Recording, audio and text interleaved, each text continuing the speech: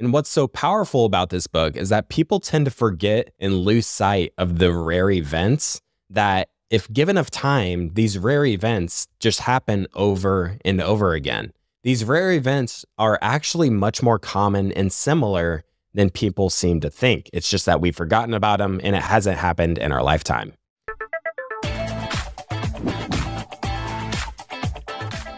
Today, I wanted to talk about the lessons I picked up from this book called This Time is Different by Carmen Reinhart and Kenneth Rogoff, which walks through various financial crises in the past and how they might relate to today's market conditions.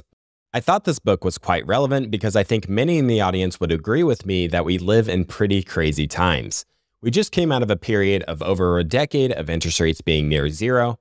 The Federal Reserve increased their balance sheet from 800 billion in 2008 to over 7.5 trillion here in early 2024, and the US federal debt has nearly doubled in the past decade as it now sits at over $34 trillion and growing very quickly. There's this quote in the book from Rose Bertin that states, I quote, there is nothing new except what is forgotten, end quote. So this book might help us clear up where things are headed for us in the future, given how things have ended up in these various periods in the past. At the end of this episode, I'm also going to be talking about Lyn Alden's book, Broken Money, which also ties in well with the topics discussed. All right, so diving right in here, the book starts out by stating that no matter how crazy things are in the world of financial markets, we've been here before. As the saying goes, history does not repeat itself, but it often rhymes. Now, this book was published back in 2011, so it'll be interesting to dive in and see what they were right about and maybe what what are some of the things they we're wrong about given that markets have risen so much in the equity markets at least in nominal terms. After reviewing all of the crises discussed in the book, the one common theme among them is that excessive debt accumulation, whether that be by governments, banks, corporations, or consumers, that debt poses greater systemic risks than it seems during the economic boom times. Especially infusions of cash that are given out by the government can make it look like it's providing greater growth to the economy than it actually is. So, debt is the number one issue in these financial crises because they can make an economy vulnerable to crises of confidence, particularly when the debt is of short duration and that debt needs to be constantly rolled over and refinanced. These debt fueled booms can bring the illusion that things are good. You know, stock prices are hitting new all time highs, banking profits are strong, and a country's living standard is stable. But history tells us that most of these booms end very badly. Now, debt is crucial to all economies, but there needs to be a balance between the risk and the opportunities of debt. And this is a challenging balance, and this is something that policymakers, investors, and ordinary citizens need to keep top of mind. The two primary crises the book covers, which are particularly relevant today, is the sovereign debt crises and the banking crises. And it covers 66 different countries over eight centuries. So it provides a ton of data and a ton of information on all these different crises throughout history. And what's so powerful about this book is that people tend to forget and lose sight of the rare events that if given enough time, these rare events just happen over and over again. These rare events are actually much more common and similar than people seem to think. It's just that we've forgotten about them and it hasn't happened in our lifetime. Before getting into the middle of the book here, uh, we'll dive into the preamble that touches on some of the learnings uh, from these specific crises Financial markets, especially ones reliant on leverage, can be quite fragile and subject to crises in confidence. The reason that people believe that their time is different than times of the past is because of the precarious nature and fickleness of confidence, especially in times in which short term debts need to be rolled over continuously. They write, I quote, Highly indebted governments, banks, or corporations can seem to be merely rolling along for an extended period, then bang. Confidence collapses, lenders disappear, and a crisis hits. End quote. The simplest and most familiar example of a crisis is a bank run. Banks borrow at short term durations and lend it out at longer term durations. A bank may have a solid deposit base with a large diversified portfolio of loans, but if too many of those loans are illiquid, the bank is susceptible to a bank run if for any reason there's a crisis in confidence and too many of the depositors want their money back all at once. Countries can also run into similar dynamics due to loss of confidence. Say a country borrows from external lenders over which they have little influence over, and consider that many government investments are highly illiquid. So, for any reason, if an external financier decides that they're losing confidence in the country's ability to pay back that debt, then interest rates in the debt go up because the perceived risk is now higher, and the country may now be forced to take on debt that is at you know unsustainable levels and it may not they may not be able to really get financing and then a credit crisis unfolds. These events really don't happen every day but in the longer context of history they happen time and time again and the reason they keep happening is that confidence and trust are inherent pieces of every debt-based system when a bank makes a loan, they're trusting that the person they, they loan the money out to is going to be able to pay it back. When someone makes a deposit at the bank, they trust that they're going to be able to get their money back when they need it. And the way I see it is that credit is the fuel to the economy, and trust and confidence is an inherent piece of credit. So when trust and confidence breaks down, your economy starts to break down with it. To add to that, this makes it impossible to predict the exact timing of such a crisis because you can't predict when enough people are going to lose trust and confidence in the banks or in a country. The authors explain that the essence of the this time is different syndrome is that people tend to believe that financial crises are things that happen to other people in other countries at other times. It would never happen to us. People like to believe that they do things better they're smarter than other people and they've learned from the mistakes of the past. So the book goes into detail on what types of crises are covered in the book and what exactly constitutes a crisis. The three types that are covered in the books. So the first is high inflation. They set the cutoff at an inflation rate in the local currency exceeding 40% per year. I believe the anything above 40% they'd consider hyperinflation. And then the second type of crises is a currency crash. This is set at 25% exchange rate depreciation. And the third is a currency debasement, which relates to when a currency is backed by something like gold or silver, and the rate at which you can exchange your currency for that uh, backing is reduced. And another form of currency debasement is when the government essentially changes the rules or creates a new currency structure, which effectively debases the previous holders of such currency. And then crises not closely related to the currency losing value. Those are also three items here. The first is a banking crisis, which you can think of as a bank run or a collapse in the banking system. This is what happened to the United States during the Great Financial Crisis. The second is an external debt crisis, which involves a default on a government's external debt obligations, which is denominated in a currency outside of their local jurisdiction. One example is Argentina in 2001 when they defaulted on $95 billion in external debt. And finally, third, we have the domestic debt crises, which is debt issues within a country's own local currency. One example of this is Mexico in 1994 and 95, which was resolved by a bailout from the International Monetary Fund and the US Treasury. There's a chapter here on what level of debt becomes unsustainable for a country. It uses debt to GNP figures here. And I wanted to mention that GNP tends to be pretty closely correlated with GDP, which most in the audience are probably more familiar with. In this case, I think they're pretty much interchangeable. So I would refer to GDP here for the purposes of this episode. So the book says that once debt to GDP of a country goes to over 100%, the country runs a significant risk of default. So, for my fellow Americans listening who need a reminder of where the US is at today, the debt to GDP of the US is currently at 121%, and it's generally been trending upwards ever since the 1980s. And Japan is in a more precarious situation as their debt to GDP here in early 2024 is 261% and that's according to data from the International Monetary Fund. But high debt to GDP levels isn't necessarily a precursor to a default. Of the defaults studied in the book, the majority of them did not have debt to GDP levels in excess of 100%. In fact, more than half of them occurred at levels below 60%. Upon the author's research, the debt in itself isn't the core fundamental problem but it's the institutional failings that make a country intolerant to debt that pose the real issue. So, other factors such as the institutions, the level of corruption, governance, the risk sharing benefits of capital markets, and capital flows within the country are more important than the debt levels alone. I'm going to skip part two of the book here, which covers sovereign external debt crises, and I'm going to jump to part three, which covers defaults on domestic debts. All right, so diving into this section here on domestic debt and the crises that arise out of this, in general, the majority of public debt is issued domestically, which means that governments generally get a lot of their funding through debt through these counterparties within their own borders.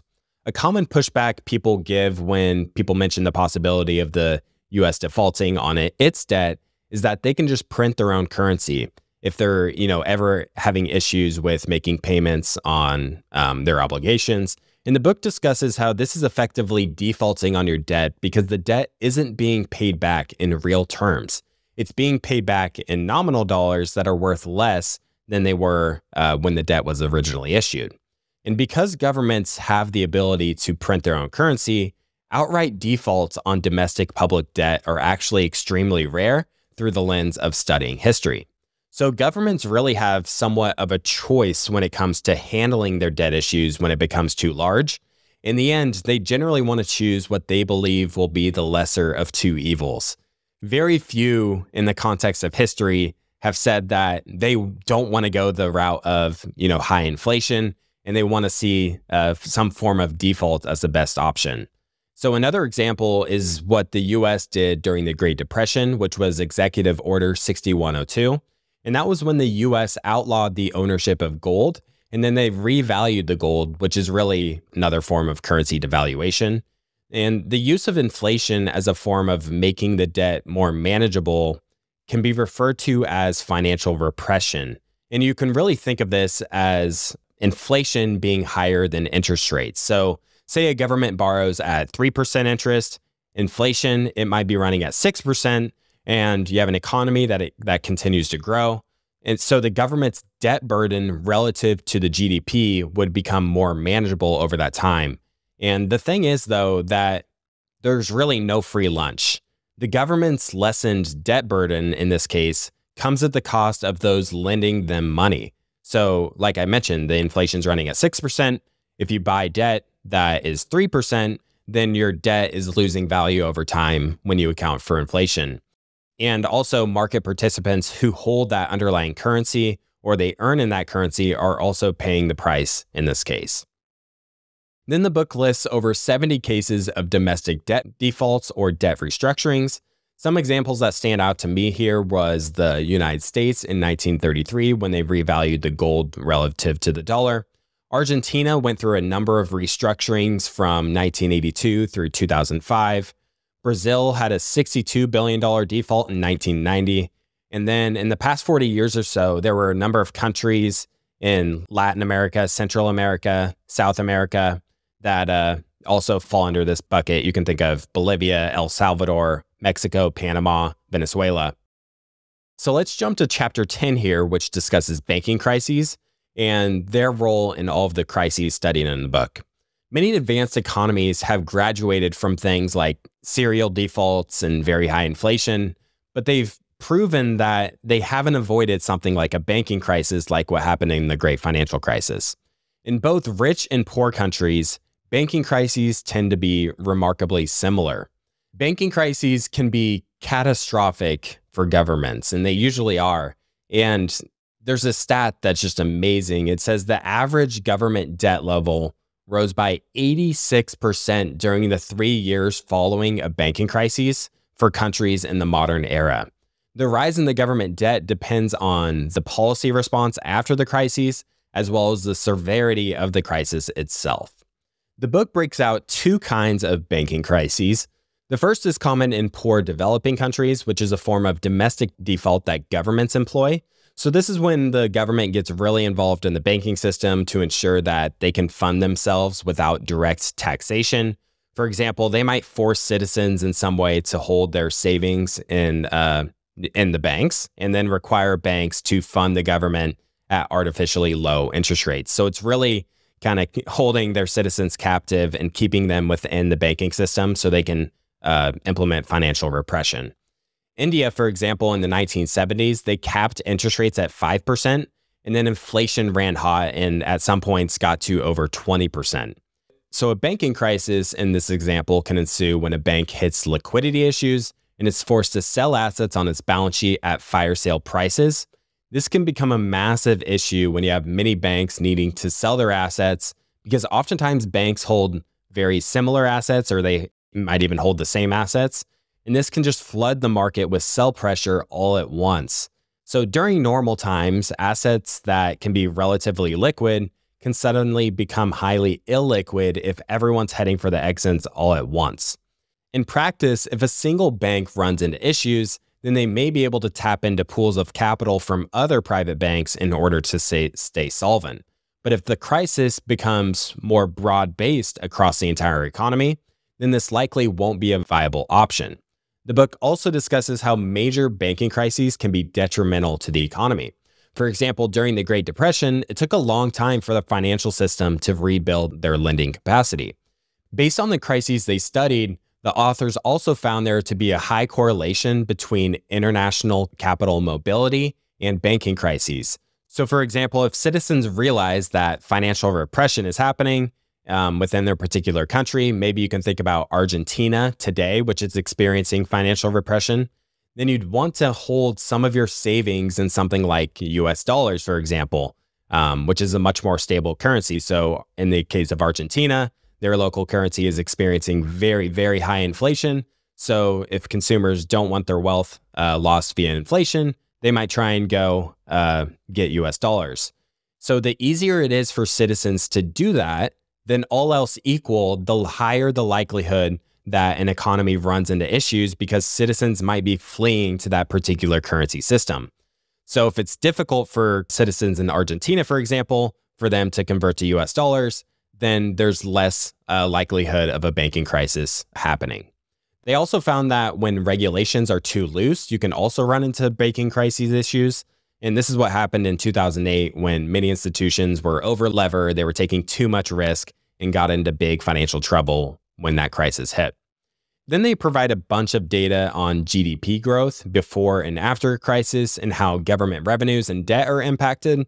The debt increases following the crisis in particular are enormous in many cases. So, to summarize the banking crisis piece, when a country experiences an adverse shock, say due to a drop in productivity, a war, a political or social up- upheaval, banks suffer in these situations. Loan default rates go up dramatically, and banks become vulnerable to losses in confidence and bank runs.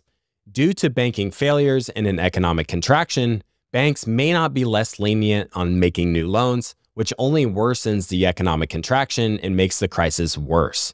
Credit is the lifeblood of modern day economies, and when that credit growth stalls or seizes up, economic growth slows with it. So, managing these banking crises with appropriate regulation is really important for economic growth. So, managing the banking sector with appropriate regulations is really, really important for economic growth overall.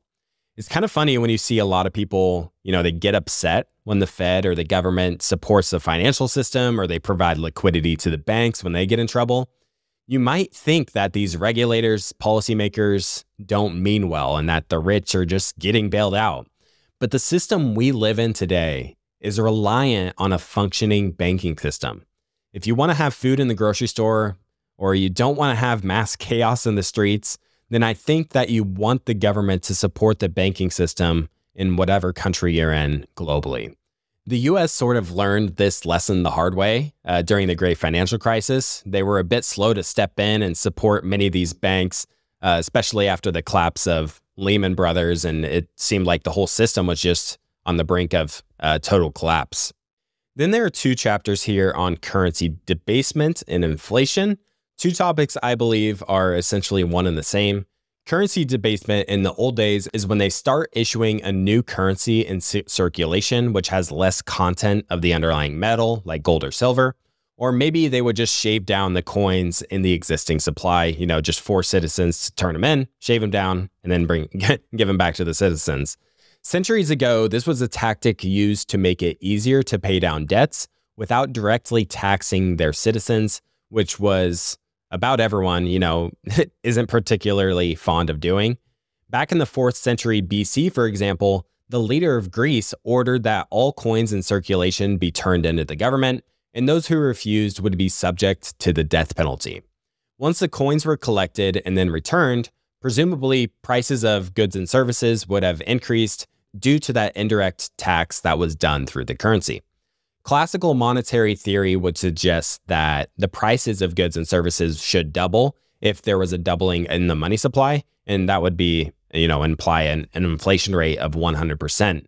And I can't help but think of the Fed's response during COVID in 2020.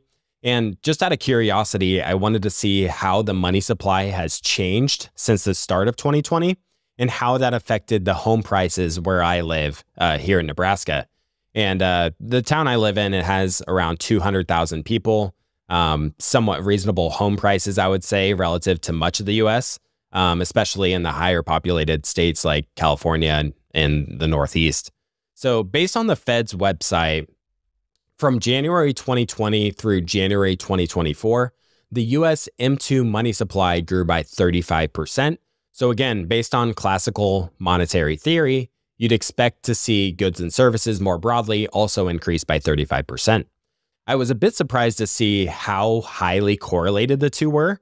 When this over, oversimplifies things a bit, since home prices are dependent on things like interest rates, supply demand dynamics, and such. But from January 2020 to January 2024, um, while the US M2 money supply increased by 35%, the average price of a single family home in the city I live in increased by 37%. So I pulled in another reference point here. Uh, look at the broader stock market since asset price inflation has been pretty prevalent over the past 10 to 15 years. So the S&P 500, which you compare to these to these other two numbers, the S&P 500 increased by 54% during that same time period. And then there's also dividends that we need to consider and uh, add to that as well. There are different arguments as to why the actual price changes may differ from the change in money supply. For example, companies tend to give their customers more for less over time due to increased productivity and new technologies, and this can bring prices down in some cases. Or the book also mentions that if currency debasement is too extreme, you may see financial chaos, increased uncertainty, and that can actually lead to higher inflation relative to the increase in the money supply. The book states, I quote, we do know that the example of the Dionysius included several elements that have been seen with startling regularity throughout history. First, inflation has long been a weapon of choice in sovereign defaults on domestic debt and where possible on international debt. Second, governments can be extremely creative in engineering defaults. Third, sovereigns have coercive power over their subjects that helps them orchestrate defaults on domestic debt, quote unquote, smoothly, that are not generally possible with international debt. Even in modern times, many countries have forced severe penalties on those violating restrictions on capital accounts and currency. Fourth, Governments engage in massive money expansion in part because they can thereby gain a seigniorage tax on real money balances, in parentheses, by inflating down the value of citizens' currency and issuing more to meet demand. But they also want to reduce or even wipe out the real value of public debts outstanding, end quote. Then the chapter has a chart here on all the different cases of currency debasements over the years, in 1551, the UK performed a 50% currency debasement in a single year. In 1812, Austria experienced a 55% debasement. In 1810, Russia experienced a 41% currency debasement, among a dozen other prevalent examples in history.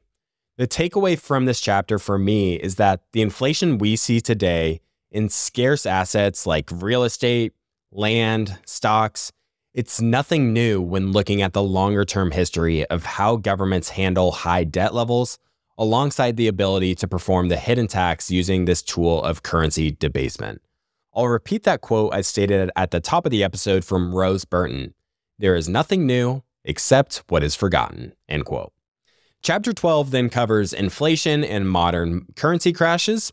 This chapter also highlights the cases of governments abusing their monopoly on the issuance of the currency Towards the start of the chapter, the authors write, I quote, A key finding that jumps out from our historical tour of inflation and, exchange rates is how difficult it is for countries to escape a history of high and volatile inflation.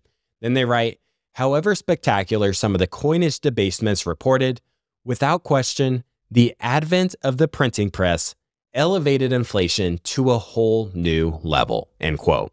So throughout history, there's certainly a bias towards inflation of the currency rather than deflation. There are times where deflation is prevalent, but especially since the Great Depression, uh, which happened in the 1930s, we've had practically nothing but inflation when you look at this chart on page 181 that shows the median inflation rate for all countries from 1500 through 2007.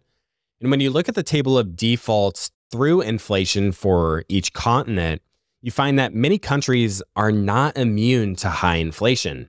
About every country you can think of uh, has had their issues. And so I'll just illustrate a few examples here. Since 1800, Germany has had two hyperinflationary events in nine years in which inflation exceeded 20%. Greece had four hyperinflationary events in 13 years with 20% inflation or more. Latin America has had a lot of issues with inflation, especially in Argentina, Bolivia, and, and Brazil.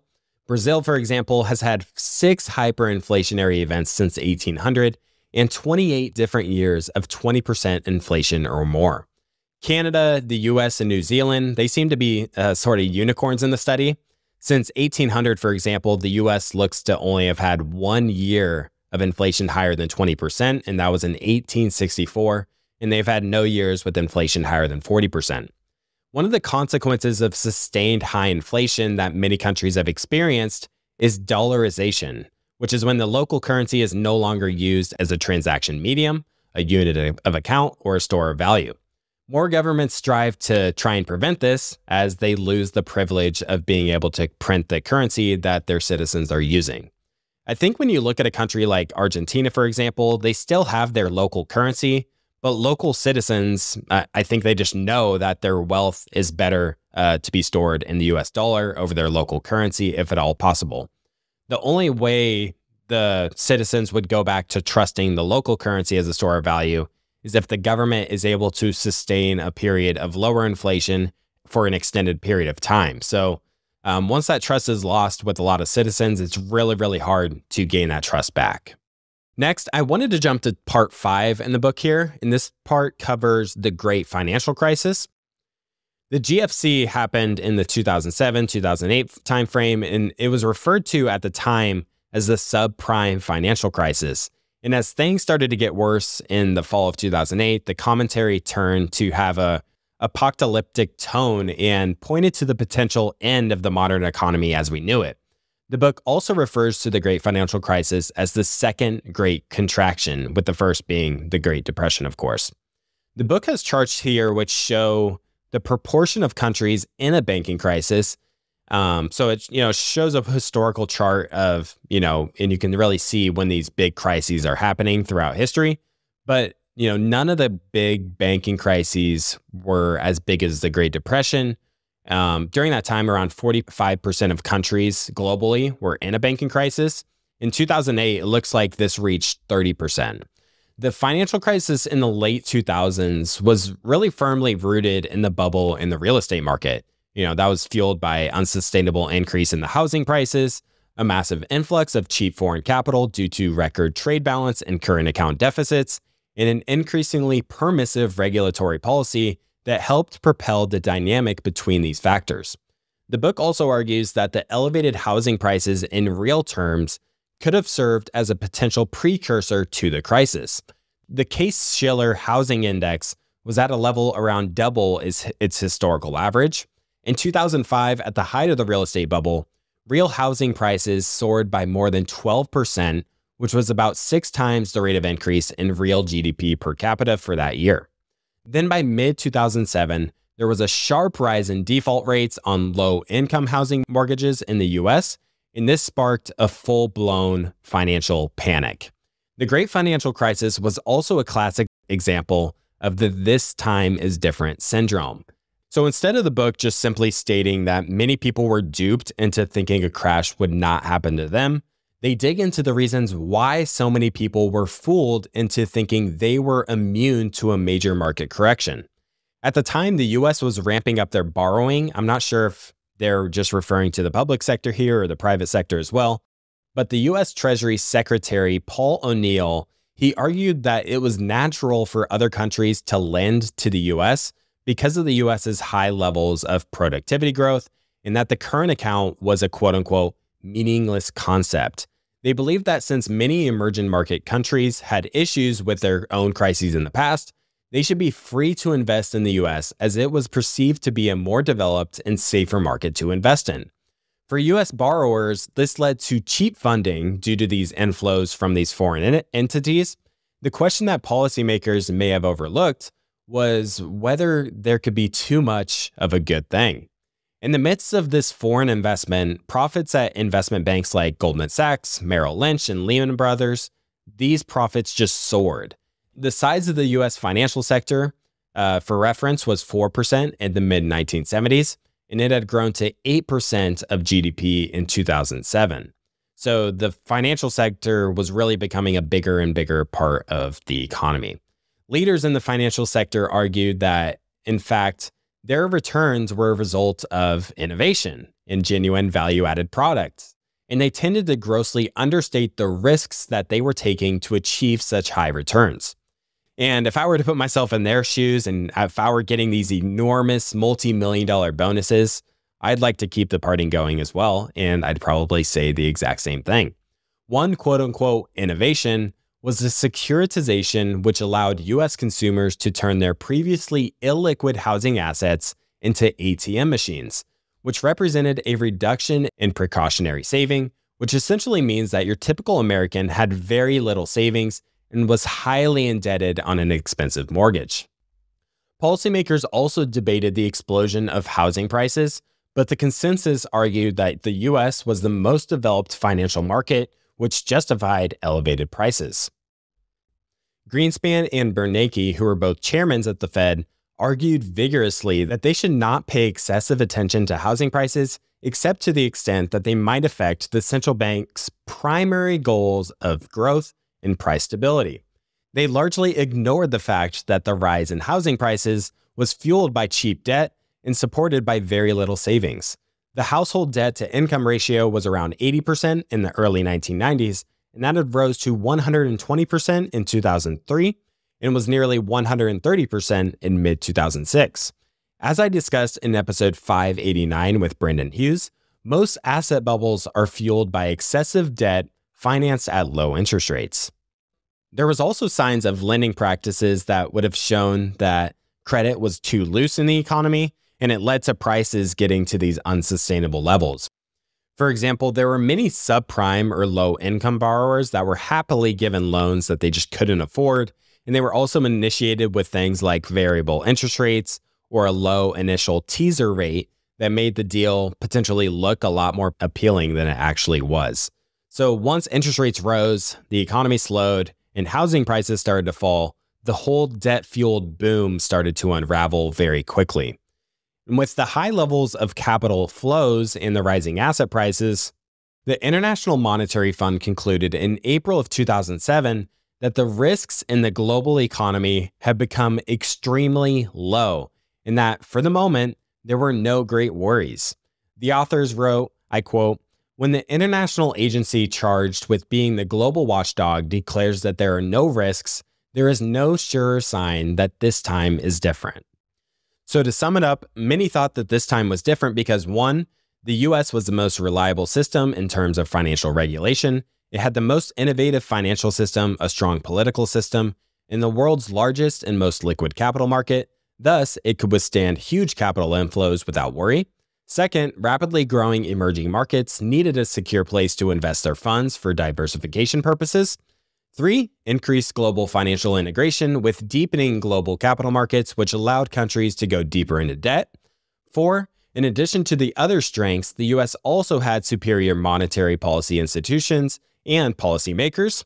Five, new financial instruments were allowing many new borrowers to enter mortgage markets. And six, all that was happening was just a further deepening of financial globalization thanks to innovation and should not be a great source of worry. The book then dives into a review of five severe banking crises in the past and what parallels could have been drawn to help foresee the potential trouble ahead. The big five include Spain in 1977, Norway in 1987, Finland and Sweden in 1991, and Japan in 1992. In studying the financial crises of the past, indicators that the authors deemed to be important precursors were rising asset prices, slowing real economic activity, large current account deficits, and sustained debt buildups. This could be private or public. And then it shows a chart of the data from the great financial crisis relative to that of the big five crises. So it looks at the run up in the housing prices, the run up in the equity markets, the ratio of current account balance to GDP, the slowing economy based on GDP per capita, and the growth in government debt. Another reason why crises may have been difficult to foresee is that many of the problems were essentially hidden within the plumbing of the financial system. But you could also argue that the huge run up of housing prices, uh, over 100% actually appreciation in over five years, uh, should have definitely sounded alarm bells for many. How do you get started with stock investing? I've put together a course to teach you everything I wish I knew when I first started investing in stocks. Let's start at the beginning and ask what is a stock? Let's zoom on in into what it's actually like to buy a stock. A few options are Charles Schwab, TD Ameritrade, Ally, E-Trade. Fortunately, you won't have to necessarily calculate all of these taxes yourself. I'll outline a few main ones to be aware of throughout your lifetime investing journey. As Warren Buffett says, your best investment is yourself. There's nothing that compares to it. By the end, you'll be savvier about stock investing and personal finance than the vast majority of people. Even if you're not a total beginner, I'm confident you'll get a lot out of the principles and strategies I outline, which we'll build on throughout. A link to the course is available in the description below. See you there. And then there's also a chapter covering the aftermath of the crisis I wanted to include here as well. In studying financial crises of the past, the aftermath of severe crises generally have three things in common. First, asset market collapses are deep and prolonged. So you have declines in housing averaging 35% over a six year time period with the crash, and equity markets collapse an average of 56% over three and a half years uh, following the crisis. So, second, the aftermath of a banking crisis is associated with profound declines in output and uh, unemployment. Unemployment rose on average to 7% during the downturn, and output falls more than 9% on average. And third, the amount of government debt tends to explode post crisis. On average, government debt increased by 86% in major crises post World War II in the three years following the crisis. The reason for the huge increase in the debt is the costs associated with bailing out the banks and recapitalizing the banking system. Another critical reason is that during an economic downturn, tax revenues tend to decline and the gap is filled by taking on additional debt. And I'll also reiterate that the numbers for asset price corrections and economic indicators are simply averages. Some cases are obviously uh, much better, other cases are obviously much worse. The book is very data intensive and shows a ton of charts, a ton of figures from a number of different crises. So I'm trying to include uh, some of the most important data points here. One statistic that surprised me was that stat that housing declines tend to last around six years. I think a lot of people today uh, would think a six year decline in housing in the US just wouldn't be possible. And that's, you know, I think it's really just due to recency bias of how housing has performed over the most recent years since the great financial crisis. I think a lot of people just sort of assume that housing only goes up because during the period of time that they've owned a house, it's only gone up.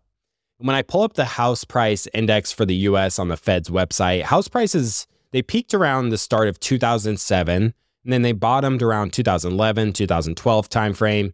So that's a decline of around 5 years. And now US housing prices have more than doubled uh, since 2012 up to uh, early 2024 and when I think about the massive increase in government debt in the years following a crisis, I can't help but think of this as being a bullish indicator for asset prices.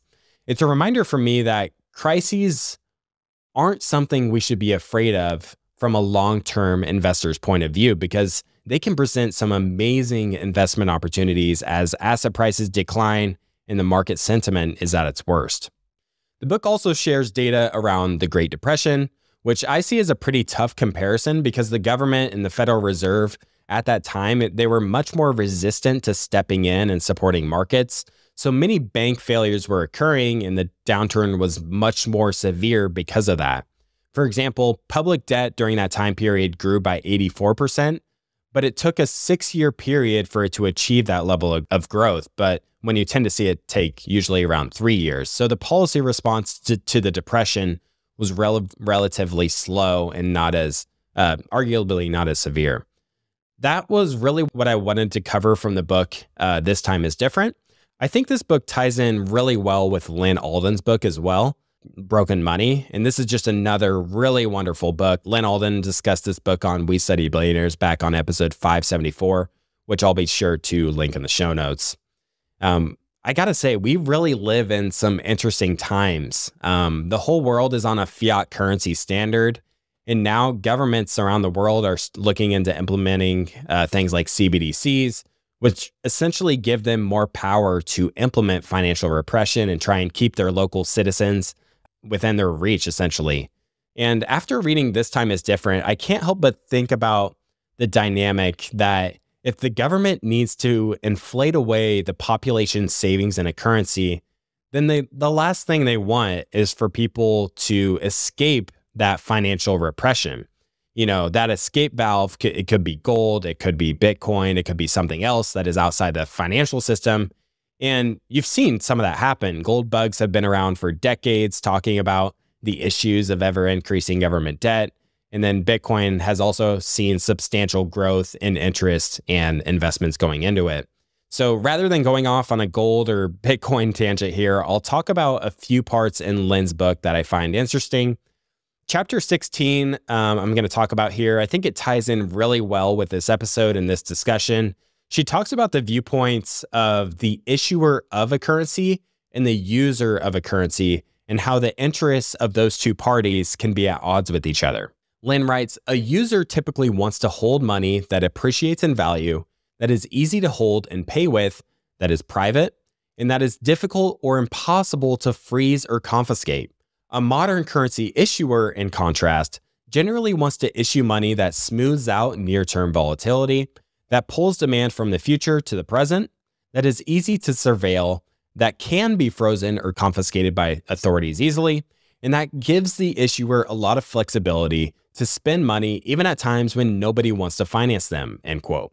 So from the government or the policymaker's point of view, they want to act counter-cyclical to the economy to try and smooth out the ebbs and flows of growth and recessions that occur. So when an economy is running too hot, policymakers want to try and slow it down to prevent inflate too much inflation and too much malinvestment. When the economy slows down too much, they want to try to speed it back up and prevent a major economic downturn. So, from the Keynesian point of view, the two ways to influence the economy is through government spending and through interest rates. Lyn then explains that ideally you'd be running a fiscal surplus when the economy is too good and then running fiscal deficits when the economy needs stimulated. So this is from the government point of view of spending less than they make leads to the fiscal surplus, and then spending more than they make leads to the fiscal deficit. But this isn't actually what happens in practice. Instead, governments run moderate fiscal deficits during good times and then pretty large fiscal deficits during the, the tough times, like the, the recession during the great financial crisis or uh, during the COVID crisis in March 2020. Since the government doesn't run a fiscal surplus, there are inevitably, times when the private market can't fill the demand for treasuries or US debt, so the central bank is forced to print money and fill that gap when there's a lack of buyers for treasuries. Since there aren't any free lunches in markets, society overall is paying the price to try and smooth out these economic cycles and any external shocks that occur, such as COVID or whatnot. There's also the counter argument from some economists that instead of the government and central banks smoothing out the business cycles, they're actually the major cause of them. So, this line of thinking says that smoothing out one recession just ends up kicking the can and delays the pain that in, that's inevitable to come. But the pain will only be much worse in the next cycle because we've kicked the can and avoided it. During the year 2000, for example, the Federal Reserve lowered interest rates all the way down to 1%. And this was the lowest interest rate that they've had in decades. But the recession in the real economy was rather mild. So some would argue that the Fed had way too loose monetary policy during that time period. The artificially low interest rates encouraged many people to borrow and speculate, and this ended up leading to the 2006 housing bubble. A lot of people got real cheap mortgages from 2004 to 2006, and then when the Fed raised rates, people started to default, especially those who got the adjustable rate mortgages. So rather than the Fed being a countercyclical force, this whipsaw in interest rates was actually a pro cyclical contributor to some degree instead of being countercyclical. More recently, similar things happened uh, as well. Of course, we had COVID 19 strike in 2020. The Fed cut interest rates to 0% and injected enormous amounts of liquidity into the financial system. And Jerome Powell, he didn't believe that inflation would come despite the large increase in the broad money supply. And the Fed chairman infamously said that, quote, we're not even thinking about thinking about raising interest rates. Fast forward to late 2021, CPI inflation was running at 6%, and the Fed still held interest rates at 0% and was expanding the monetary base by buying US Treasuries. And finally, they started to drastically pivot, raising interest rates to the highest they've been in over 20 years, which led to the second largest banking failure in American history now, I'm certainly not in a position to say what the Fed is doing is good or what they're doing is bad, but I can say that what they're doing has a real impact on real people and real businesses. And we're just forced to sort of deal with them being a key player in the game of business, in the game of investing, and being cognizant of how their decisions might impact our lives.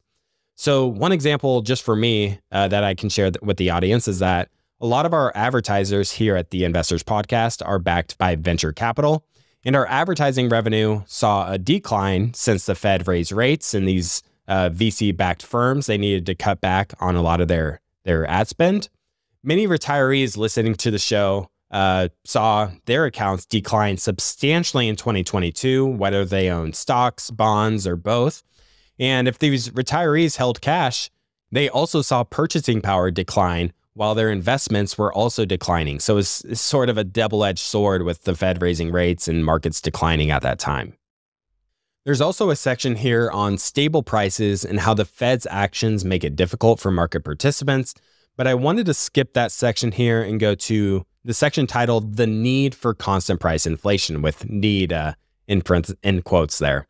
Historically, the Federal Reserve has had a target of 2% inflation, there have been times when Fed officials have said that even inflation of 1.5% uh, was too low, and they were willing to try and loosen things up and bring inflation from 1.5 to 2%. Uh, many policymakers uh, made statements that inflation throughout much of the 2010s was too low, for example. So they view inflation that's too low as a problem, just like inflation being too high is a problem. So their target is that 2% uh, range. Lyn shares a different view than policymakers. She writes If we replace the description of an inflation target with a debasement target, which is ultimately what it is, it shows how silly some of these comments are. Using that terminology, they would be lamenting that the currency that people earn their wages in and keeping their savings in is not being debased as quickly as their target debasement rate says they should, end quote. These comments really remind me of Jeff Booth's book, The Price of Tomorrow. Uh, it's one of my very favorites. In the book, he talks about how the natural state of the free market is deflation, and that naturally prices should decline as companies create better, faster, and more efficient ways of doing things. Another way to think about it is that it's really an entrepreneur's job to give the consumer more for less. So deflation is good from the consumer standpoint because it means they get more for less. But deflation in the eyes of the central bank is actually a bad thing because in a debt based economy, you inherently need inflation. Lyn writes A key reason why policymakers and economists fear deflation is because deflation is bad for highly leveraged financial systems. And yet, leverage is exactly what they encourage to exist through, through their policies. When everything is built on massive amounts of debt, and policymakers keep intervening to make sure debt levels go even higher, then deflation can collapse the system if it's allowed to occur. Persistent deflation is not compatible with high debt levels and thus not compatible with the modern financial system, end quote. So not only is the Federal Reserve creating money to increase the broad money supply, but they're also doing so to try and offset any deflationary forces created by technology and innovation. Lyn shared this stat that from 1913 to, to 2022, the broad money supply grew by 6.6% per year on average, which is much, much higher than the 2% inflation target by the Fed. So, this is why you see the value of scarce things like real estate go up by more than 2% per year. It's more like 6% or more, especially really scarce real estate. When you look at Miami Beach waterfront property, um, it originally sold for $100,000 in 1930. And in 2022, it's worth 30 million. So the compounded annual growth rate on that scarce Miami waterfront property is 6.4% per year. Then, if you look at non scarce things like grains, electronics, many foods, software, and other similar items, they have very low inflation or sometimes even have deflation because we've become just so efficient at producing them and they, and they just really aren't scarce relative to these waterfront properties. When you're thinking about inflation in your own life, I think you need to consider the inflation of what it is you're needing or wanting to buy. Maybe that's today or maybe that's some point in the future. If you haven't bought a house yet, for example, uh, think about how much real estate in the area you're wanting to buy tends to appreciate. If you're soon going to have kids, consider the inflation rate of childcare and planning for the future or the inflation rate of uh, college or whatnot. I'd encourage listeners to not just take the inflation rate the government says is happening, the CPI inflation, don't take it at face value because every single thing you buy is increasing or decreasing in price at a different rate. And it's oftentimes a very different rate uh, than the CPI inflation rate.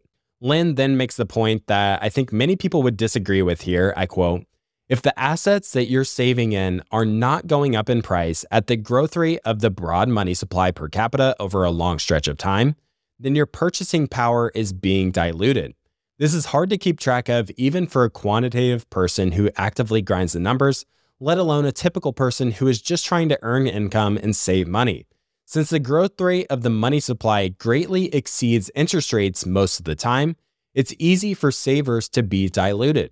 Persistent inflation of the money supply allows policymakers and various middlemen to siphon off the purchasing power of people's savings without them being able to easily keep track of it. And as bad as it is for savers in developed countries, it's far worse for savers in developing countries, end quote. So in my opinion, that understanding of inflation and the money supply growth is just so, so critical uh, for me, at least, in understanding the markets, how prices change, how my buying power changes over time, and not just like my investment accounts. And I just felt that it's so important to share here on the show. So I hope you found it valuable. So I'll leave that episode here at that. I hope you enjoyed it, and I hope to see you again next week. Even though the book covers a very long span of history and then into the future, the emphasis is on the present. So it's not just an academic book that says, okay, here's the layout of history. It says, we have a current problem, and how did we get to that problem? And then how could we potentially fix that problem? And then, of course, it, it defines the problem and goes into details around the problem. And the way I would describe it essentially is that money is broken in a global scale.